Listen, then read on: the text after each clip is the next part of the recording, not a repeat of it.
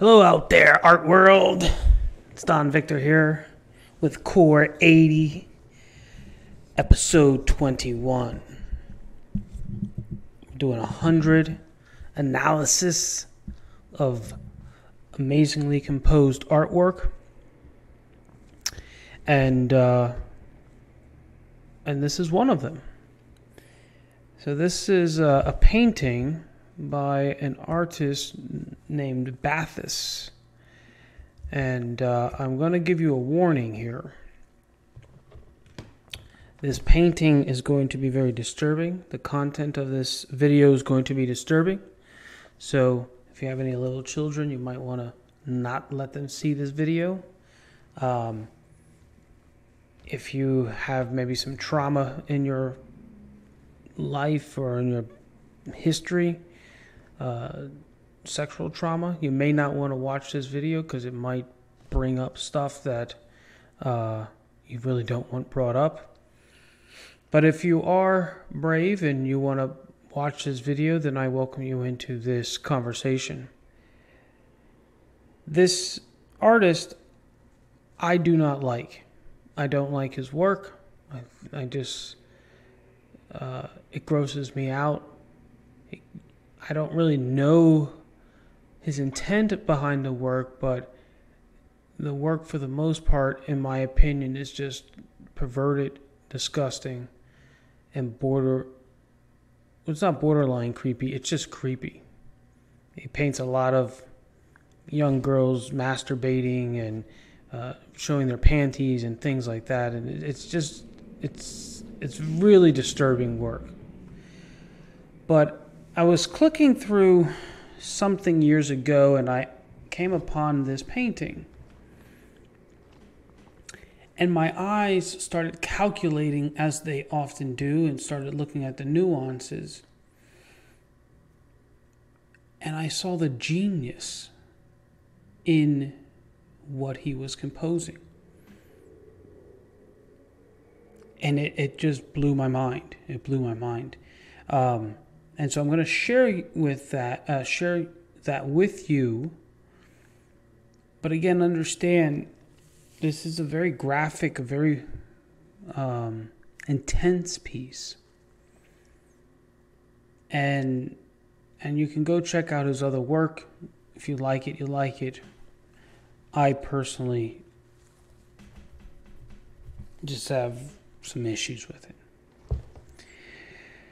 But when looking at this painting, you're going to feel, and this is part of what a Core 80 composer becomes. They become like CSI for artwork. I remember uh, years and years ago, I think I've watched CSI maybe four times in my life, three times. But I remember this one time, this, one of the, you know, like the head guy or whatever was looking at this scene where I think it was some college girl got got killed.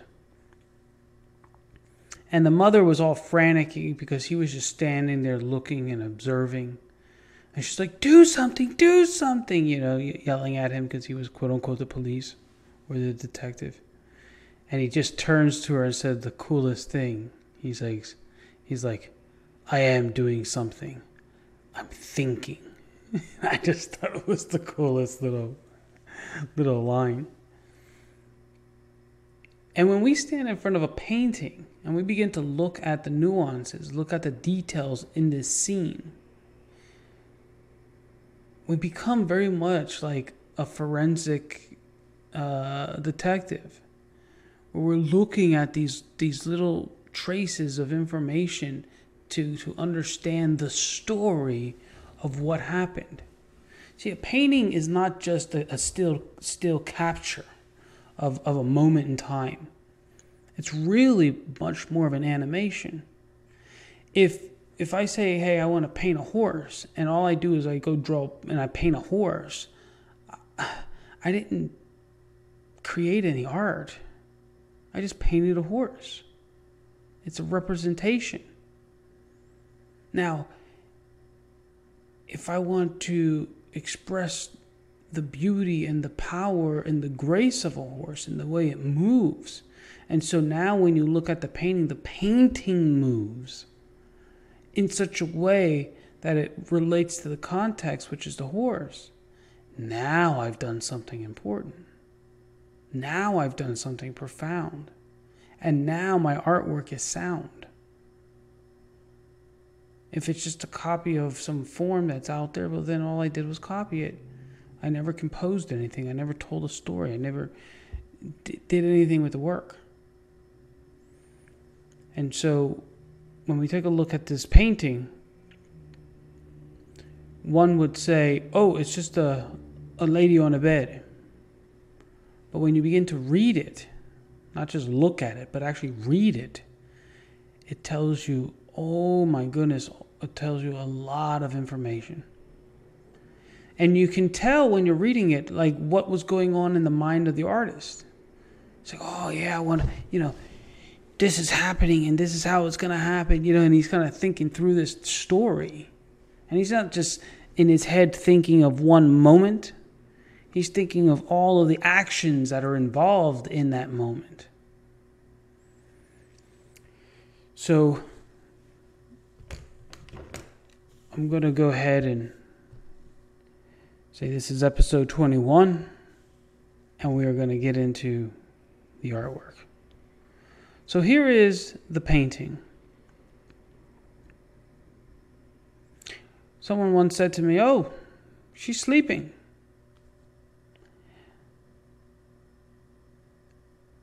I guess. it's a very, very long sleep.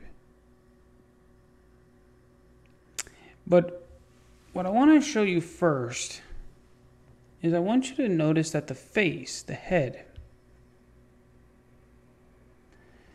and this whole area over here are built on a very clear horizontal thrust.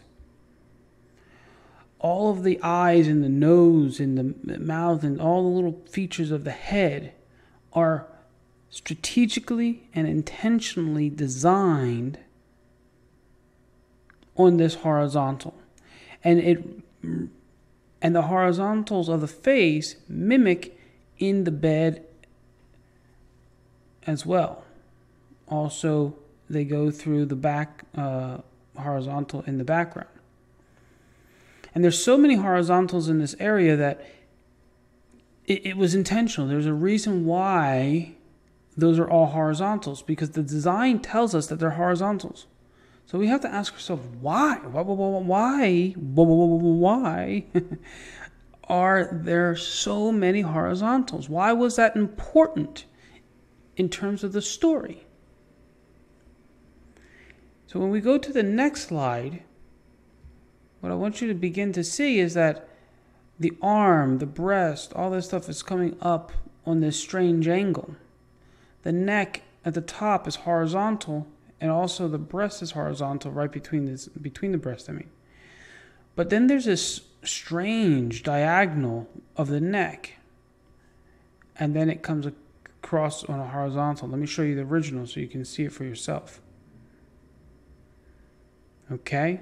You see the how the how the neck is on a very strange diagonal and the face is on a horizontal. Something happened. That neck is not proper. Did she break her neck? Did she fall out of a building and land on her head?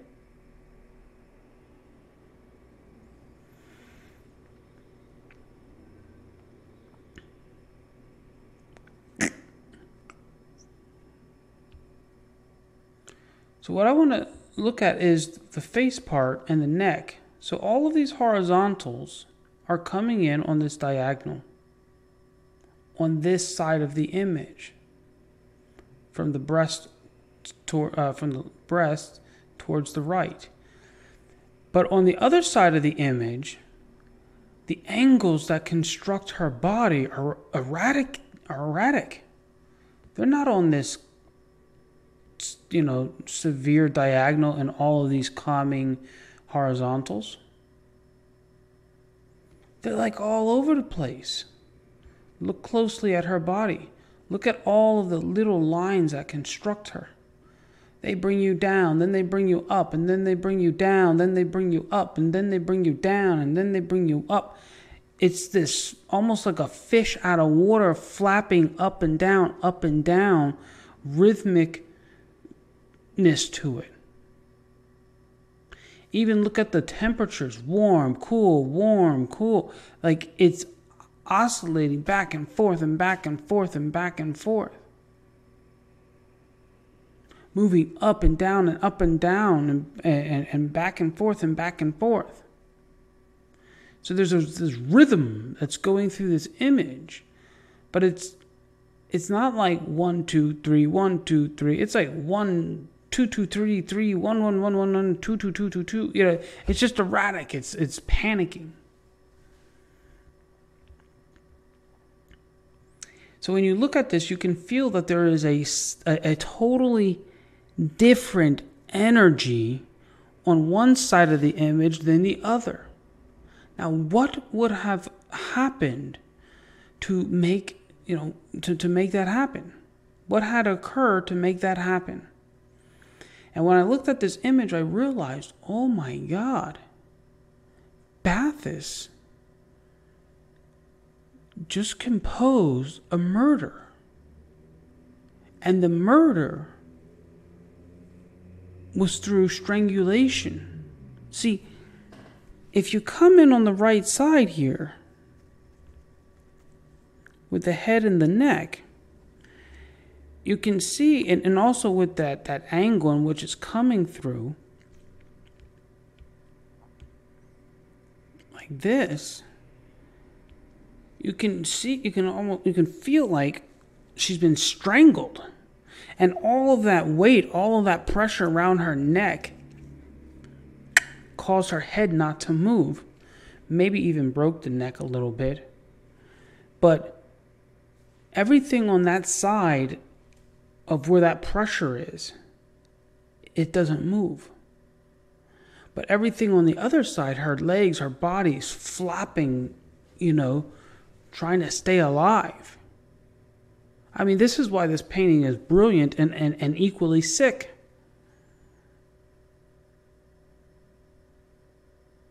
So, I mean, if you imagine like being choked to death, you probably would be, you know, trying to fight for your life. Now, what's interesting is he doesn't just stop there, he goes further. And we actually feel the life of this woman leaving. And let me show you how he does that. So, up in the head area, we see this beautiful curve in her hair line and also the hair. The hair, look, check out the hair.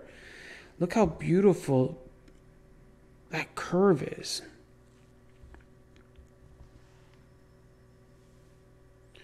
And so, as our eye curves there, it's this little graceful downward motion.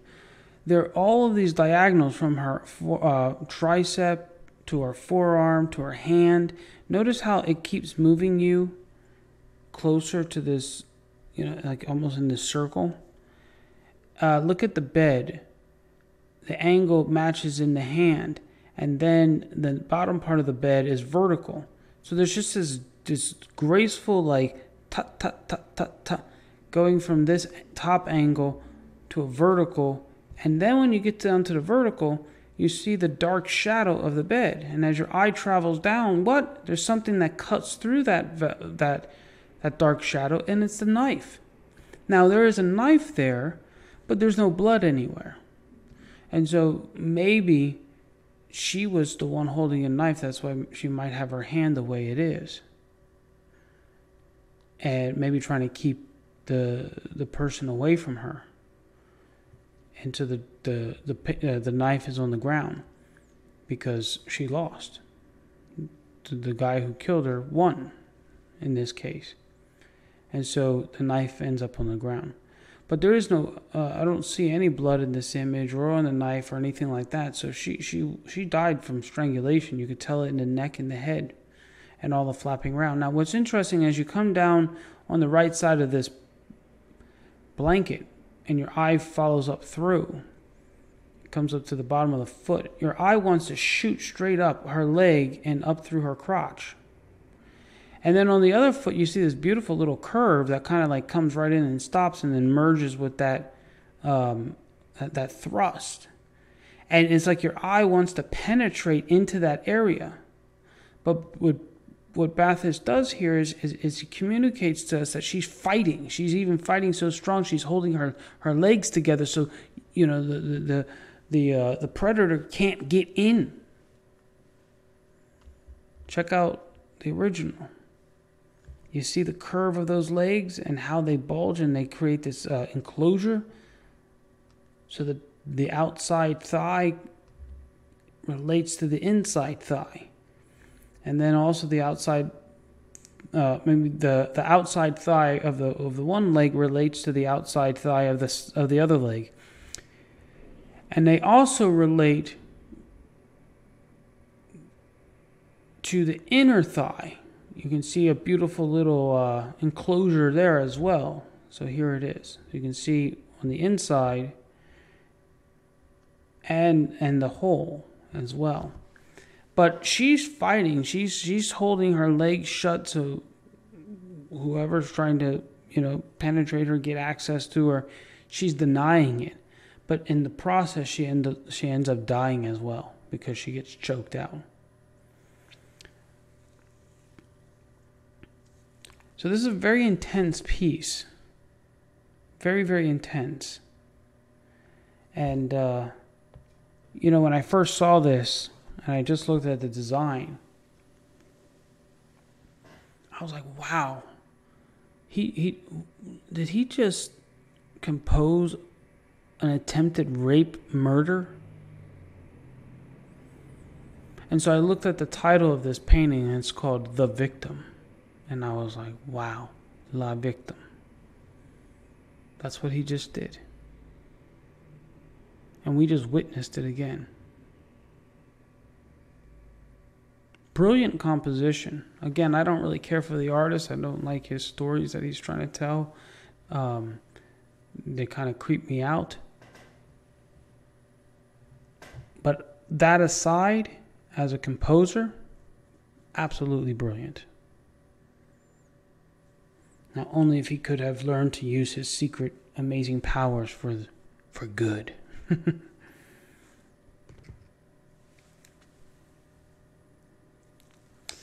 so, that is Core 21. Please share this video.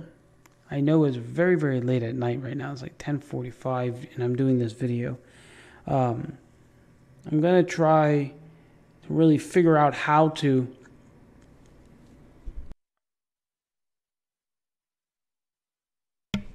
how to um, not how to but like try to come to a place where i can commit to a, a specific time to do these broadcasts. Um, i am downloading them putting them on youtube uh, sharing them on other facebook pages and groups and so i ask you again to keep keep sharing. I got to have your shares.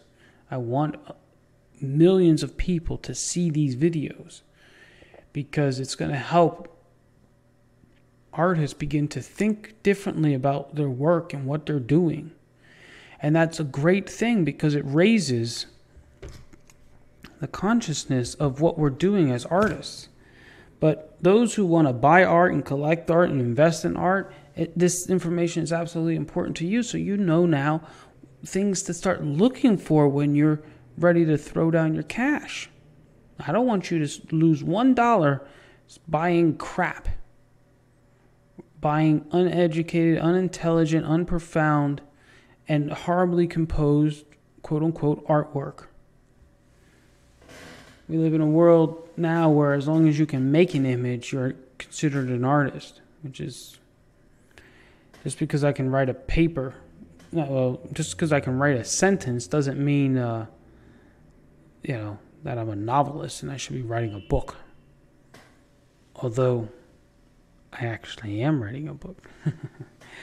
um, and that'll be out soon. So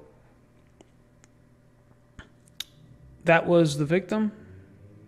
I want you guys to share this video and soon, uh, when I say soon, probably next week, because I'm just gonna, I'll take the, the weekend to finish it off. But the Core 80 website will be up. In there, you'll be act- you'll be able to get um, uh, access to the videos as well as the slides from the uh, from the videos, and um, we're actually transcribing all of these videos so that we can actually have uh, provide written content for you um, to look at, and um, so you can read. You know, for, because some people they like videos and some people like to read, and so we want to provide that to you guys as well. Uh, so I will let you know when that website is up and running. Uh, that'll happen soon. And um, yeah, and so on that note, I thank you